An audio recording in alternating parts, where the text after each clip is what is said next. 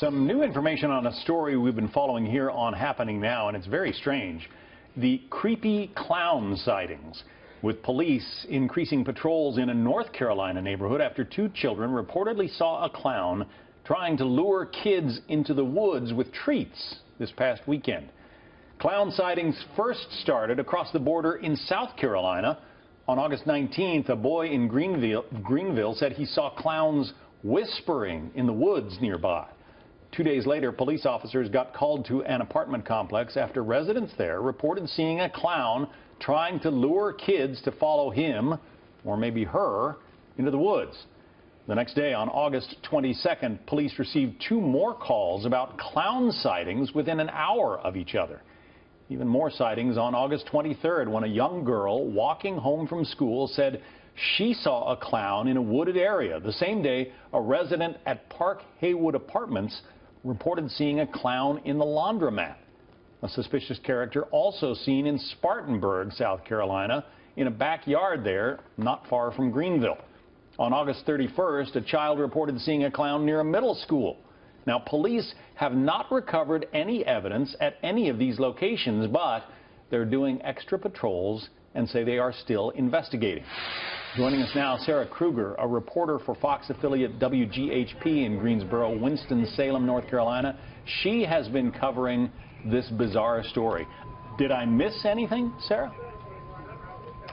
John, you know what? Actually developing in our newsroom right now, just within the past hour and a half, there has now been yet another clown sighting in our area. This one in the Greensboro area, which is about 30 miles east of Winston-Salem, where there were those two sightings within the past couple days. So we do have a crew out there right now gathering information.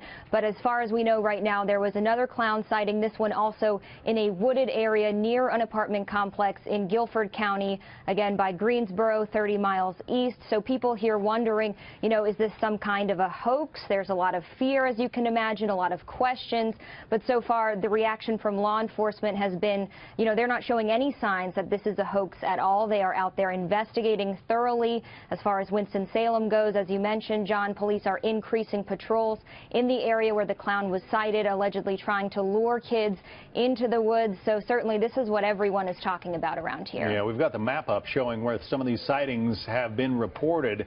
Again, police have investigated, and so far there's no hard evidence that any of these so-called clowns um, actually exist, right?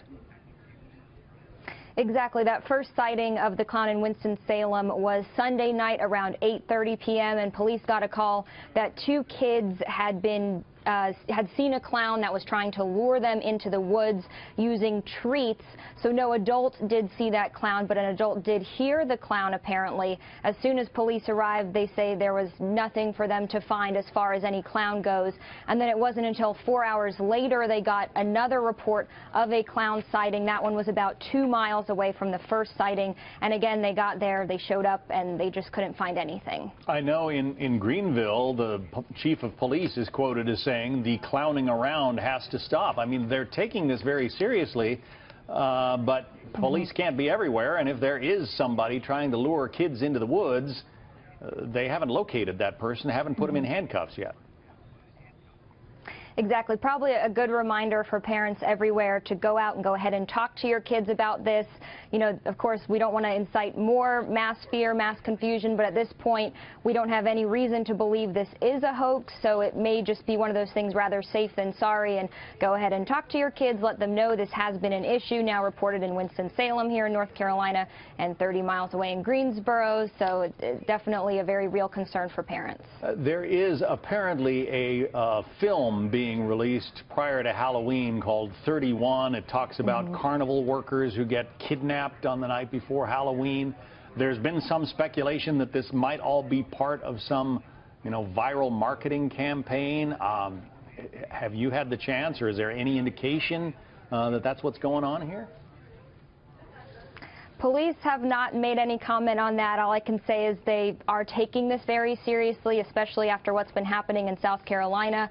And even for people here, you know, South Carolina, Greenville area is about 200 miles away. But still, for a lot of people here, that felt way too close. And now that it's been happening three times now in our own backyards, people are taking this seriously. There are some questions, you know, wondering if this is a hoax, but people not not wanting to take that chance and Yeah. wanting to take this very seriously. And let's hope it is not uh, children's imaginations run wild, but it's it's very strange that uh, this is happening in so many uh, cities, so many hundreds of miles apart. Sarah Krueger, Sarah, uh, if there is more information, get back to us. Thank you.